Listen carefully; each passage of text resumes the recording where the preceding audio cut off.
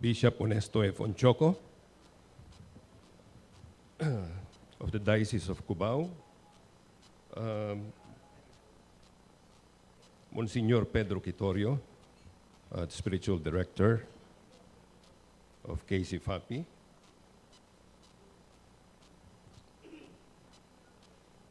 uh, Reverend uh, Father John Neniman, California Spiritual Director, or State Chaplain, rather, I'm sorry.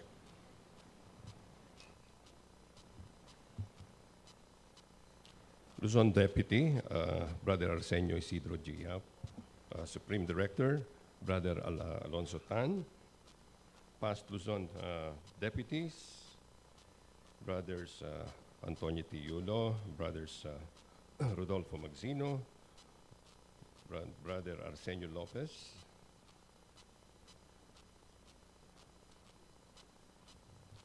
officers of the Knights of Columbus, of the Luzon jurisdiction, officers of KC FAPI. Um, is Brother Henry Reyes here? Yeah, Brother Henry Reyes, um, President of Keys, and members of the Board of Directors of Keys, area managers, fraternal counselors,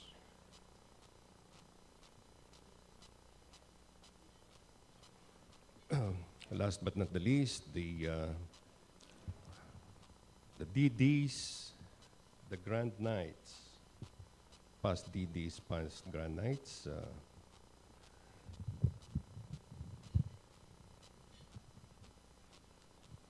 isang maganda, makabuluhan, at punong-puno ng biyayang umaga sa inyong lahat.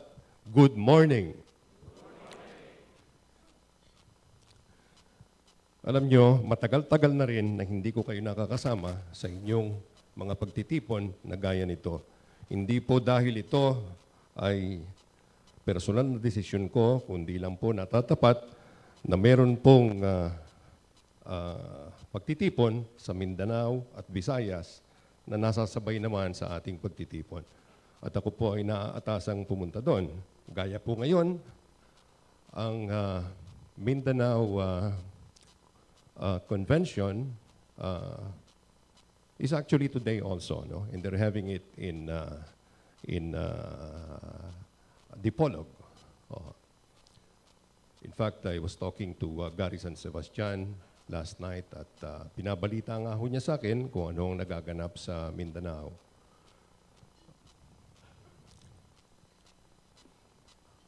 Gusto ko pong magtanong sa inyo. I'd like to ask a question. Ilan po sa inyo ang nakatanggap ng dividendo ng KC FAPI? Brother Boy, Brother Boy Up, nakatanggap ka ba ng dividendo? Brother Alon? Wala pa ba? Meron, meron. Binibiro tayo ni Brother Boy Up eh. Oo.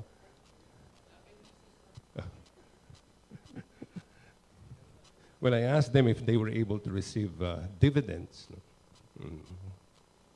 Pwede po bang uh, tumayo yung nakatanggap?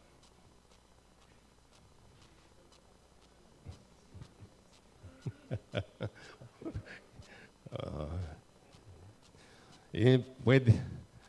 Palakpakan po natin lahat ang nakatanggap ng dividendo. Ngayon, ang yung tanong ko po na yon ay tumutukoy sa ating makangkasapi, sa ating kapatiran sa Knights of Columbus na nakatanggap ng dividendo bilang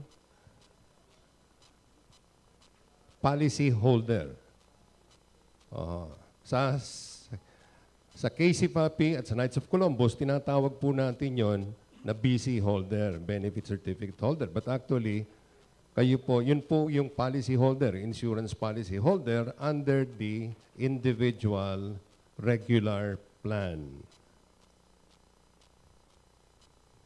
Kaya ko po itinanong, gusto ko rin pong malaman ng personal kung sino po ang may coverage. Ngayon, hindi po tayo nagdi-discriminate sa walang coverage. Dahil sa totoo po, yung walang individual coverage, meron naman pong CMBP, yung Council Mortuary Benefit Program. So I would suppose karamihan po dito merong CMBP. Ilan po ang may CMBP dito?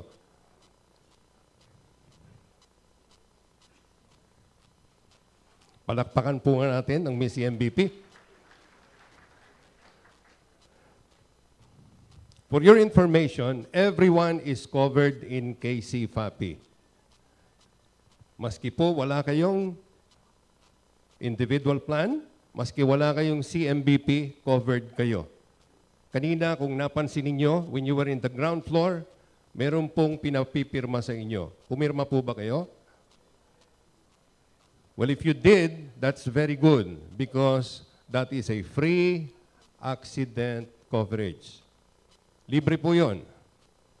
Binibigay din po ng, C, ng KCPAPI sa inyo nang walang bayad yon. Libre po yan. Because we want to see to it that everyone is covered and uh, KCPAPI does its role, does its mission of providing pecuniary assistance to its members, no? As required by our funders, si Father McGivney at si Father Wilman. Kaya ako po tinatanong sa inyo kung yon ang nangyayari. Ngayon po, uh, at this juncture, please allow me to uh, give you a President's report. Ito pong President's report ko na ito, I think this will be, ito po, this will be the last one because my term of office is ending by the end of this Colombian year. Tapos na po yung termino ko. So it is uh, a great honor and privilege for me to present to you the uh, performance of KC FAPI. Membership as of January 1, 2013. If you add up Luzon, Visayas, Mindanao, ilan po ang Knights of Columbus? Almost 300,000, no? So ilagay na po natin sa 300,000, of which almost 50% belongs to Luzon. Palakpakan po natin ang Luzon. Dahil kalahati po ng Knights of Columbus sa Pilipinas ay nanggagaling sa Luzon. Nandyan po ang Mindanao, nakikita po niyo yung green, sila po ay 28.9%. At ang uh, at ang Visayas po 21.13%.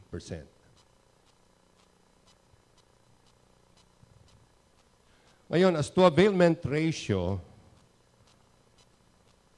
members who have insurance, who have benefit certificate, CMBP, and the rest, etc. Like the access. Dito, dito pala, CMBP and ano to, CMBP and uh, this is CMBP and the regular plans. For Luzon, almost 38,000, representing more than 25%. For Visayas, 8,800 plus, representing almost 14%. And for Mindanao, 17,000 plus, representing almost 20%. the grand total in terms of absolute amount is 69,980. Or a coverage of 21.35%. This is actually 4.4% higher than 2011. So may improvement po from last year. Total insurance coverage in force. Ibig sabihin po, ito ang mga live coverage. Ibig sabihin kung buhay na coverage. Ito po ang, uh, ang grand total ng insurance coverage na sinasagot ng KCFAPI. So it's 11.7 billion for 2012 or an increase of 1 billion from 2011, a 9.2% increase. First year contribution. Ano po ba ang ibig sabihin ng first year contribution? Siguro po sa, kasi po tayo, uh, we always call it the Casey way. So when we say contribution, this is actually premium. It premium for the first year. So first year premium for 2012 is 138 million. This is the highest ever, highest ever for Casey Fapi. And if you notice, it has been increasing steadily from 2010, 2011 to 2012. 107, naging 127, and then 138. Ito yung kaninang binanggit ko, yung CMBP, the group insurance. It also improved. If you look at the uh, amount at the bottom, it's 20.9. Nag-increase po, no? 18.6 nung 2011. So that represents a 12.3% increase. Now, in terms of councils, uh, it went up by 98 from 716 to 814. Renewal year contribution income. Ano po ba ito? Ito po yung renewal premium. Di ba po, after the first year, renewal na yan. Yung pagpapatuloy na pagbabayad ng premium ng ating mga insured. So for 2012, again, this is another first, the highest ever, 394.9, almost 395 million. Oh, An increase of 9.78% from the 359.8 million of 2011. So ang total underwriting revenue, ito po yung pinagsama-sama, yung premium. Sa first year, sa renewal at sa CMBP, 551.4 million. Oh. Nag-increase po ng 9.9 or 10% from the level of 2011. So kung mapapansin ninyo, yung 2011 at 2012, both figures have breached the half billion level ng underwriting revenue. Living and death benefits, ito po yung mga binayad natin. Doon po sa mga nag-mature na policies at doon naman po sa ating mga kapatid na pumanaw na. Ang total uh, benefits po na naibayad natin is 310 million for 2012. Again, it would show you a progressive increase to 51, 293, to 310.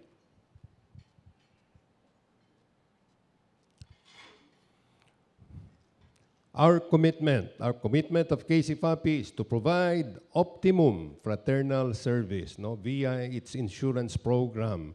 And we do this through our area managers and fraternal counselors. We have 21 area managers in the whole Philippines. Pinakamarami po sa Luzon. We have 14 in Luzon. At meron din po tayong unit managers, 16 unit managers. Uh, most of these are in the Visayas and Mindanao, no? Na medyo uh, virgin pa yung areas. We also have 1,234 fraternal counselors. Ito po yung parang mga underwriters natin. Of which, 325 are new recruits.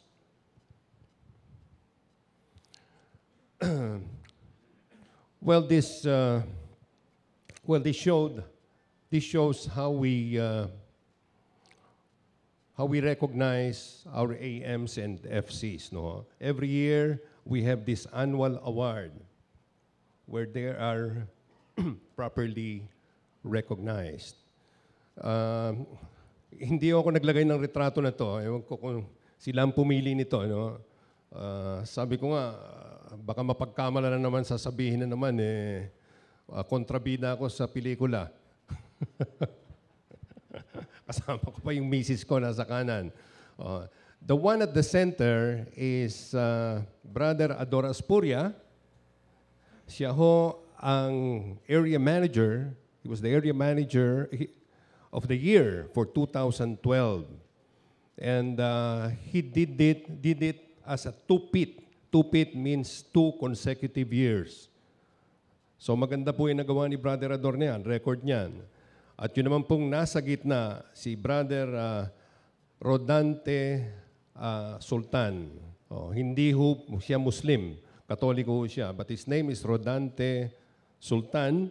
And for the first time in the history of KCFAPI, he produced the highest FYCI, yung first year premium. For the first time, 5.2 million. Isang tao lang po yun. That was a record.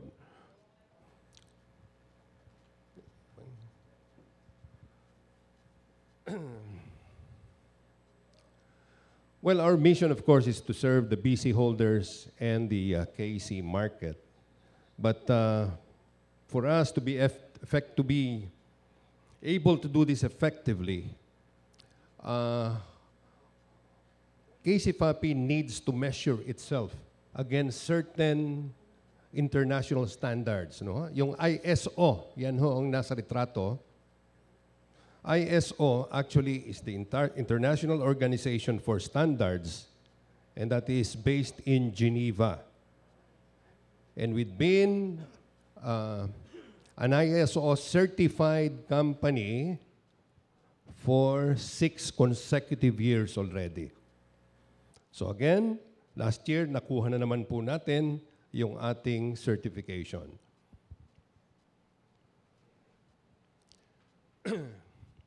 The strategy of KCPAPI, of course, is prudent finance and investment management. Now, if you look at the, uh, this particular uh, slide, uh, you will see that the total resources, resources po, assets, ng KCPAPI has already reached 3.9 billion or almost 4 billion. This was as of year-end 2012. Pero as of today, I can assure you, lumampas na po tayo sa 4 billion. So it has been steadily increasing, 3.3 to 3.6 to 3.9. As the graph would show, from 2010 to 2012. At wala pa pong revaluation of assets to. Hindi pa po tayo nagre-revalue. So if we revalue our assets, meaning if we will have our assets reappraised by uh, independent uh, appraisers, no? Uh, I'm very sure it would be much higher. In fact, pag sinama po natin yung assets ng dalawang subsidiaries at dalawang foundations, I'm quite positive. If revalued, we will hit or even breach the 5 billion resources, total resources.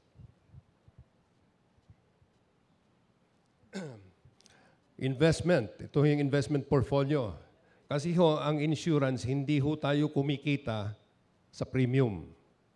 Akala po ng iba, ang income, ang bottom line ng insurance ay nanggagaling o yung income ay nanggagaling po sa perang, ah, sa premium na ibinabayad sa atin. Hindi po ganon. Ang, ang pera po ng isang insurance company like Casey Fapi, nanggagaling po ito sa investment. How prudent the investment uh, management of uh, resources are. I'm sure all of you are very much aware, and in fact, I've talked to, you about this before, that the uh, interest rate in the market continues to decline. It has been declining, but this does not mean that the economy is not doing well. In fact, it's the reverse. When the economy is doing well, the interest rate goes down. In fact, there's too much market, there's, too much liquidity in the market that the uh, government uh, has been reducing its interest rates on government securities, particularly short-term, excuse me, short-term securities. To be able to get the uh, to be able to uh, to uh, to put into better use the excess liquidity in the market, uh, like the uh, equities or capital market. So ang tendency po ngayon, inilalagay po sa equities, sa stock market. But we in KCFAPI is so prudent, so conservative that we don't put a single centavo in the stock market.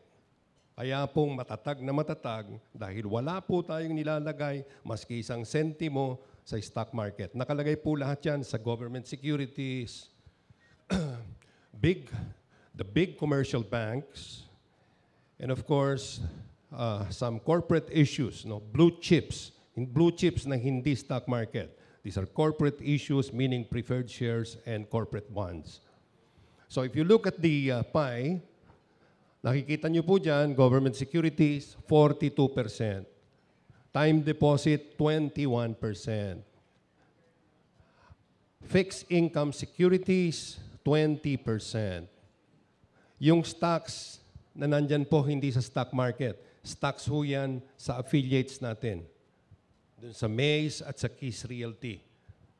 Hindi po investment sa stock market yan. And of course, the BC loans, 12%. BC loans, ito po yung benefit certificate holders uh, borrowing money from KCFAPI. Yung pong insured, umuutang din po sa atin because they have all the right to borrow from KCFAPI against the cash reserves of their policies. So that's a total of 3.7 billion at ang investment yield is 7.2%. Alam naman ninyo, magkanong interest na nakukuha nyo sa bangko ngayon. Net of 20% uh, withholding, wala pa yatang 1%. Hmm. And even the short-term government securities have gone down to 1.5%. So we're quite healthy. And let me assure you also that we have no borrowings. Wala po tayong utang sa maski anong bangko o sa maski anong financial institution. Malinis po ang libro ng Casey Papi. Operating expense. Siyempre po, meron ding gastos. Kung makikita nyo dyan, we have proven, prudent, very prudently managed our operating expense. In fact, operating expense ratio, no? ratio po ito, meaning as a percentage of our total revenues, it has went gone down from 22.7% in 2011 to 20.8% in 2012. So bumaba po ng 2%. So parang dalawang sentimo po ang binaba sa bawat piso na kinikita natin ang ating operating expenses.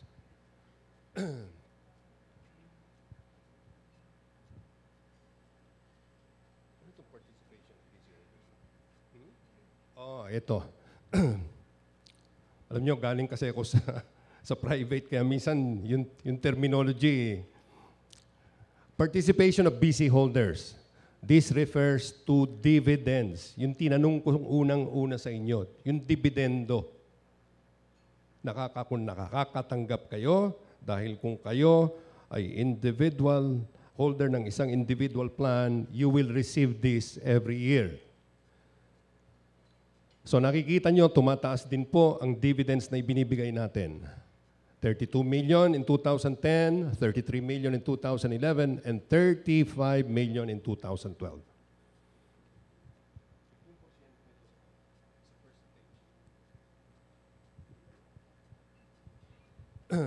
Alam po ninyo, as a matter of practice, although we're not really mandated by law or any regulation, we had been giving out 50% of what we make. Kung ano po yung kinikita natin, yung net income natin, ibinabalik po natin kalahati sa ating mga insured.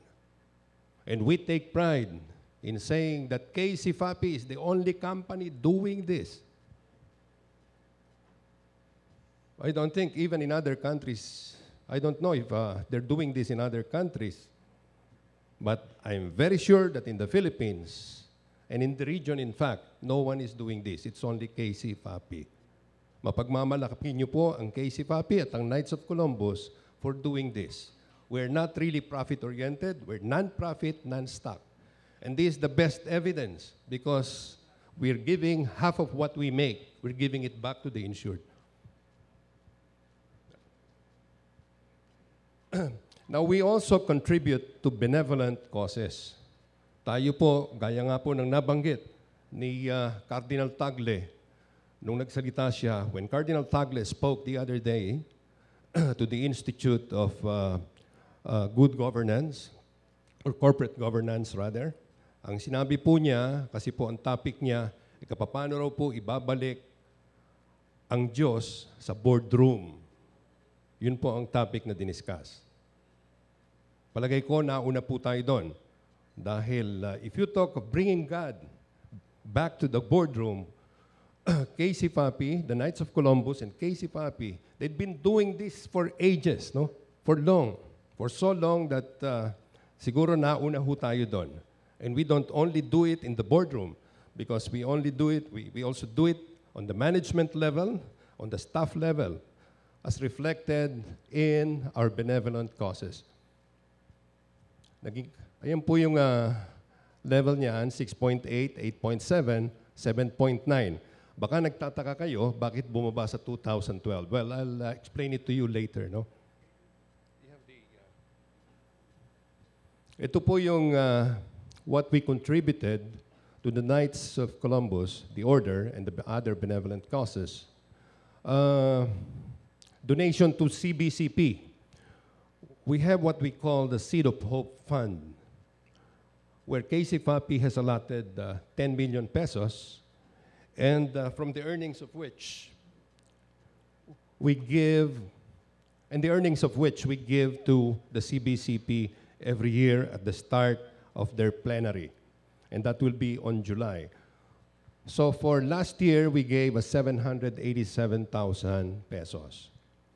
The CBCP monitor, you're very familiar with that, especially the supplement, the cross. 480,000 po ang binibigay natin dyan.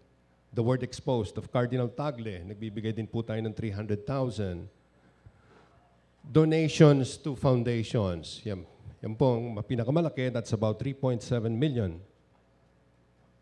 Ah, dalawa po ang foundation ng KC Papi, yung Father Wilman Charities Foundation and KC Philippines Foundation. Then the support to the Order of the Knights of Columbus, 690,000. Pero I'll go back to that later. No? Transpo and travel of uh, bishops, uh, 497,000 or almost 500,000. The National Insurance uh, Convention, 1.5. Council Officers Jewels, 154,000 plus. New Council Development Expense, 100 ba to? Di ba 150 to? Ah, 150 ang Tessa. Parang mali. Tama yan? 150? That should be 150, no? I recall. Ngayon dito, ho, ang hindi nakalagay dito, and that is due to uh, uh, accounting treatment, yung accruals. Yun hong, uh, because last year, we spent 3 million pesos for the National Convention. The one in Manila Hotel. Oh, Casey Papi spent. Tulong po sa Knights of Columbus yun, particularly kila Brother Boy po, sa inyo, sa Luzon. Kayo po ang, ah, ang ah, host noon, no, nung last year, where ah, si ah, our Su- Supreme Knight was ah, here, no? favoring us with his valued presence. So yun po wala dito. At hindi rin po nakalagay dyan yung pong na gastos ng KC Papi sa oratory and uh, uh, monument of uh, Father McGivney. Uh, kung hindi ko po kayo napapasyal sa sa sa opisina, kasi pag sinabi ko opisina, hindi ko sinasabing KC Papi lang. Kasi ho, alam niyo naman, KC Papi at KC Luzon ang nandoon. Ano? So sabihin na lang po natin, kung di po kayo napapasyal sa headquarters ng Knights of Columbus, eh, ma- siguro po it's about time. Tingnan nyo, maganda po yung oratory na yon at yung monumento ng ating founder, si Father McGivney. At siguro po, idadagdag ko na rin at this point, na meron po tayong itinayo, tapos na po, yung pong chapel at museum ni Father Wilman. Tapos na tapos na po yon. And that will be blessed and inaugurated on July 5, tentative, no? July 5. So everyone is invited. Maganda po yan. Maganda nyo makita yung museum at chapel. Ito naman po yung majority and hold majority and wholly owned companies. Ito po yung kanina nabanggit ko na in terms of assets, hindi lang po KC Fapi because there are other uh, entities under the umbrella of KC Fapi. Nandiyan po yung Kiss Realty and Development Corporation. Kanina nga po binan- binanggit, binati natin si Brother Henry Reyes, siya po ang presidente.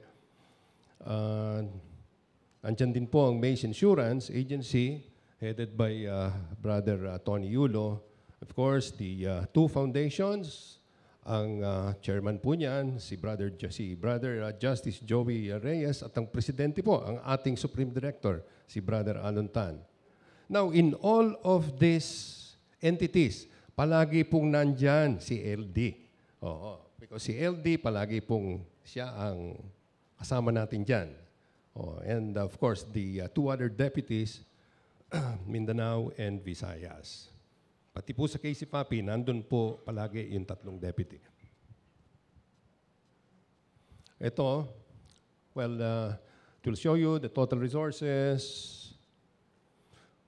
Umakyat din po ang total resources ng dalawang subsidiaries. This includes already the foundation, no? Oh, keys number to? Keys and Maze. Ah, sorry.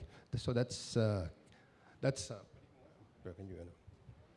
So this is only for Keys Realty. Keys Realty. Keys Realty is a real estate company. Hmm. It's in the business of real estate development, meaning ito po ay nagpapaupa at ito rin po ay nagde-develop at minsan din po ito ay naglaland banking. No? At sila rin po ang may-ari ng Holy Trinity. So Holy Trinity is part of Keys Realty. As the graph would show, total resources increased by 22%. 434 million na po. Ah, so tumaas po ng 77.8 million. Palakpakan po naman natin si ang uh, Keys Realty. Pati po ang kanilang net income maganda rin po. Oh, 15 to 26 million. Ito naman po yung Maze. Uh, Maze eh, is not as big as Keys because Maze takes care of the non-life, non-life insurance. At ang Maze po is only a general agency. But then again, you will see that they posted positive variances or positive uh, growth no, in both resources and net income. Oh. So 38% increase in, in, in net income and 5.3% in total resources. Si Brother Tony Yulo po yan, yung mga kasama niya. Palakpakan po naman natin sila.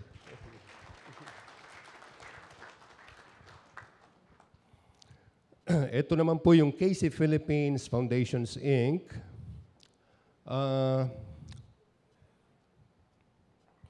KC, the focus of KC Philippines is actually uh, giving academic scholarships no, to uh, the uh, um, to uh, children of KC members, no? Children uh, belonging to uh, they, they may be children o pwede maski apo, pwede po, no? Inaalaw po natin 'yan. At sila po ay uh, we um, well not just necessarily children of KC o, o miyembro ng pamilya, kung hindi ho talagang deserving. Kaya nga lang uh, they belong to the lower um, economic class. Medyo kinakapos at yan po ang binibigyan tuon ng, uh, ng foundation. Sila ay tinutulungan. So far, we have sent, if you look at the figure below, 392 na po ang napagtapos. of which 277 college, vocational 114.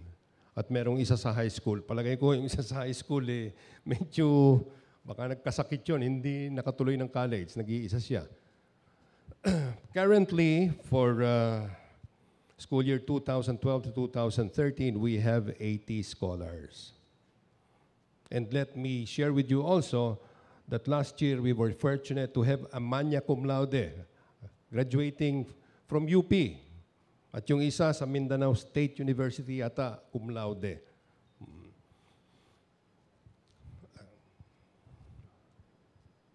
Ito naman po yung Father George J. Wilman Charities, Inc. Ah, ito naman po ang mga tumutulong sa mga seminarista at sa kaparian.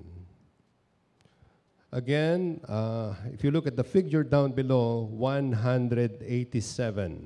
187 na po ang nag-graduate ng mga scholars. Ordained priests, uh, theology, 123. 123 pong pare yan, yung nakapagtapos na. Ordained deacon, 4. Waiting for ordination, 15. Licentiate, 21. Local ho yun, ha? Licentiate, Rome, 24. Marami po sa kanila, bishops, cardinals. At alam niyo kung sino yung natatangi doon? Si Cardinal Tagle. In fact, he was the very very first scholar of Father Wilman. Ngayon, for, uh, if you look at the current uh, roster for 2012 to 2013, meron pa po tayong 32. Theology, 20, Licentiate Local, 8, and Licentiate Rome, 4. Hmm. Makikita niyo po sa retrato, ito po yung, uh, this is already the eighth gathering because we always have this annual gathering of scholar priests. Yan po ay ginanap sa Bustos, Bulacan. Kasabay po ito nung National Convention last year. Yan po ang ating mga gwapong uh, pare, scholar priest. yung iba po nandito ngayon. si, si Monsi, yung dalawang Monsi.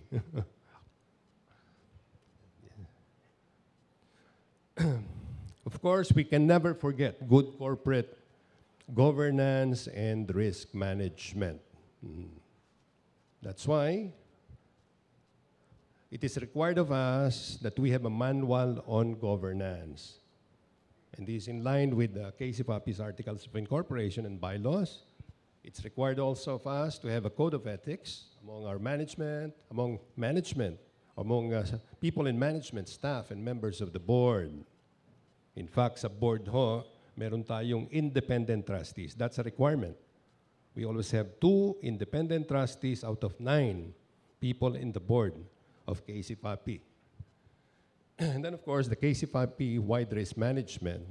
In the picture, you will show the uh, certificate of authority awarded to us by the Insurance Commission, and that is uh, Commissioner uh, Book. Oh, binibigay po sa atin yun. Ano?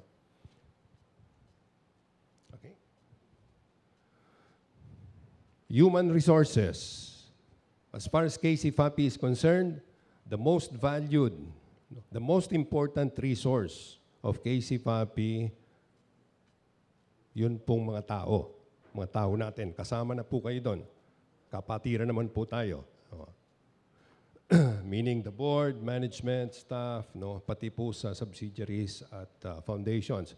Dito po makikita nyo na binibigyan po natin sila ng pagkakataon na to be trained to be trained properly. And this is just one of the pro, the uh, the seminars that they're attending, the Unleash the Highest Potential of Work and Life seminar na binigay natin. On top of that, meron din hong mga work-related or um, insurance-related uh, trainings like in Loma,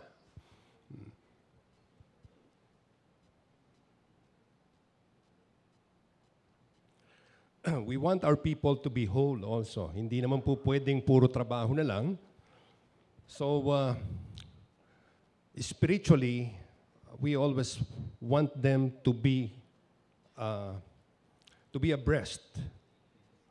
And uh, you'll see in the picture on the left, yan po yung pilgrimage in Bataan nitong nakaraang Holy Week.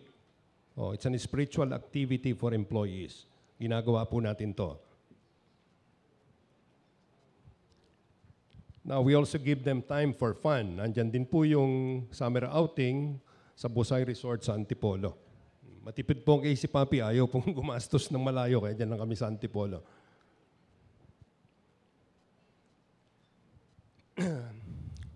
Solidarity with the Catholic Church, the Order of the Knights of Columbus, and other community activities. Kung mapapansin nyo, nandun sa inset, si Chief Justice Davide, our chairman. He was part of the uh, uh, National Committee for the uh, um, kay Pedro Calungsod, what you call this, yung, uh, was it the, uh, not just the sainthood, yung pagdating dito, that's the uh, Kalungsod, uh, the pilgrim, Hmm? Pilgrim image, no? Aha. Kasi ho, si, uh, sabi nga ho ni Supreme Director, saka ni LD, eh, uh, si uh, Chairman Davide was part of the of the uh, committee for the uh, cause, for the sainthood of uh, Saint Pedro Calungsod. Pati nga po yung, uh, he was very much involved dun sa pilgrimage, yung national Pil- pilgrimage, yung Philippine celebration. At yung urna po na ginamit dyan, uh, Casey Papi po ang ah, nag, ah, ah, nag-donate noon. Ah, please continue, Mike. Mhm. Ah, nami, nami, nabanggit ko na sa inyo to kanina, and uh, we always present the check uh, at the plenary of the uh, CBCP. Nagbibigay po tayo yung kita dun sa 10 million fund. O, nabanggit ko na kanina to, 787 yan, no? Kanina, o, in 2012.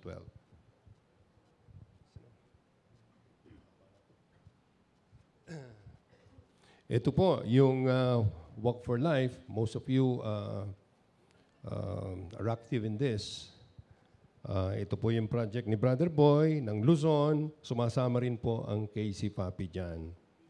And uh, Brad, Br- Brother Boy, pang six years, no? Oh, this is already the sixth year.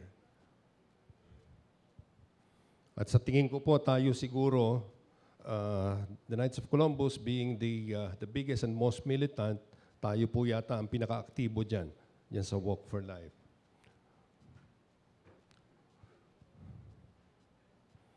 Well, this picture uh, shows the uh, participation of uh, the Philippines, the KC, uh, the Knights of Columbus of uh, the Philippines, uh, 130th Supreme Convention in Anaheim, California.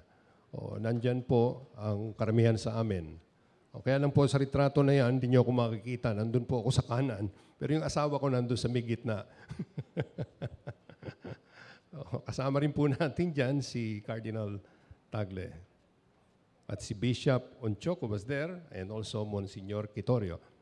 Mm. At uh, dyan po sa pagtitipon na yan, eh, marami pong ah, nakamit na karangalan ang Luzon ah, jurisdiction. Next.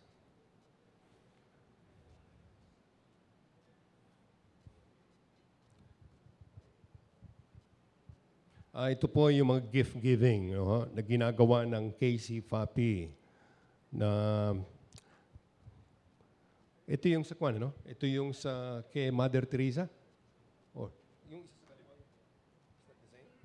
Ah, the same, no? Oh, yeah. I just want to make sure na yung kasi tingin ko iisa lang yan eh. The one on top uh, left and right, iisa po yan. Yung pong gift giving na ginawa namin dito po sa sa uh, facility na pinut up ni Mother Teresa diyan sa Tayuman. Oo, nagpunta po diyan ang Casey Papi and uh, one thing very significant here, hindi po pera ng Casey Papi ang ginastos kundi po uh, pera na nanggaling sa pag-aabuloy o sa pagbibigay ng bawat empleyado at officers. Yan po. At ah, meron din po yung sa baba. Ito po, actually involved ang asawa ko dyan because my wife happens to be ah, president of the PWD for the Barangay San Lorenzo in Makati. Ito po yung talentadong PWD ng Makati where Casey Papi ah, was very much involved. For your information, I have a special child. Meron akong autistic son. That's why my family is always involved in the, this type of activities. Next. Meron din po yung fathers, I'm sure, uh, well, most of you were there. Ito po yung Fathers for Good na binigay nga po uh, noong uh, National Convention. Uh, there were three winners, one from Luzon, isa sa Visayas at isa sa Mindanao.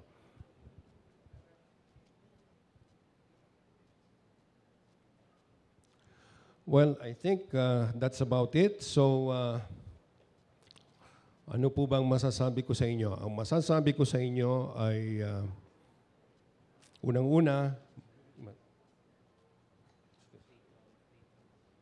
Hmm?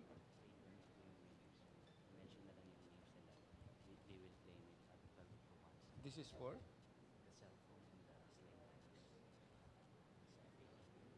Hmm, teka. Hindi, may glasses. Hindi, bago muna yun. Ah, gusto ko lang po kayong batiin ng Knights of Columbus Way. Oh, di ba po, ang Knights of Columbus, we always greet each other by way of the cross. Oh. Yung pong ah, vertical bar represents or defines our relationship with the Lord. Kaya po binabati ko kayo, as far as the cross is concerned, yun pong vertical bar, ah, sana po ay kagi- katigan po sana tayo ng may kapal at ah, patuloy po sanang dumaloy ang biyaya niya sa ating lahat. So, mula po sa itaas, ito ay pababa. Mula po sa ating may kapal, papunta po sa ibaba sa atin.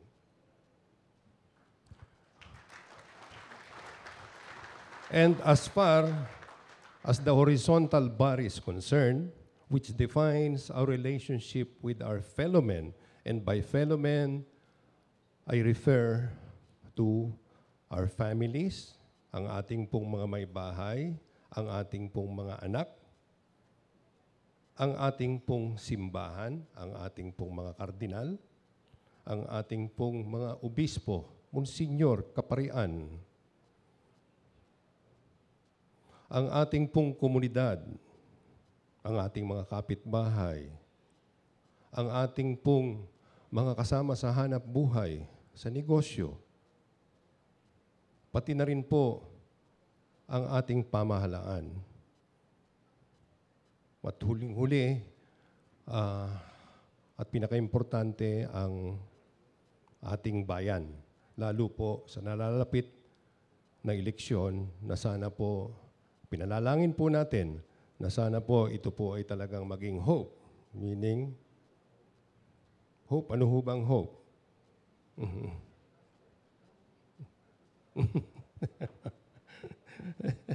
Honest, orderly, di ba? And peaceful elections.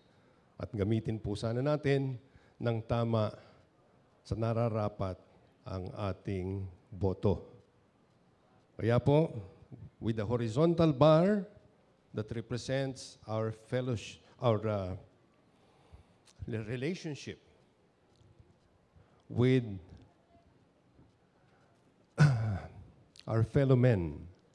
Uh, hinihingi ko po ang patnubay ng may kapal na sana po ay ilagay tayo sa tamang landas at magampanan natin ang isang makabuluhang boto sa darating na eleksyon.